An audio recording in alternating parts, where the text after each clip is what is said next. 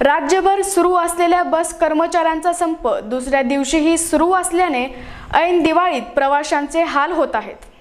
आज दिवसभरही बस कर्मचाऱ्यांनी आपल्या विविध मागण्या मान्य न झाल्याने बस सेवा सुरू करण्यास नकार दिलाय. ऐन दिवाळीत प्रवाशांची मोठी गैरसोय होत आहे. आज कामावर न परतणाऱ्या एस टी कर्मचाऱ्यांचं निलंबन करण्यात येईल असा इशारा प्रशासनानं दिला आहे. निलंबित कर्मचाऱ्यांच्या ठिकाणी कंत्राटी कर्मचाऱ्यांची भरती करण्यात येईल अशी तंबी देण्यात आली आहे.